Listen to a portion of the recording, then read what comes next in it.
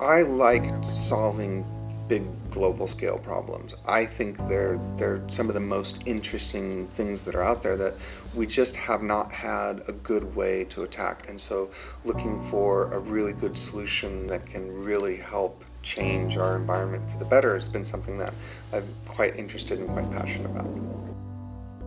Our company is called Biocarbon Engineering and we're going to plant 1 billion trees a year.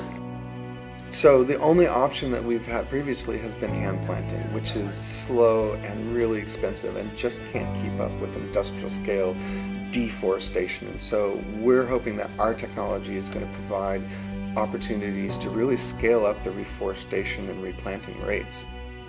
I have been working for years now in studying global climate change, how to model the environment, and what I keep coming back to is, is that how do we reverse the damage that we've done from literally hundreds of years of anthropogenic development, I and my team have a really great chance to actually reverse that, change the trend.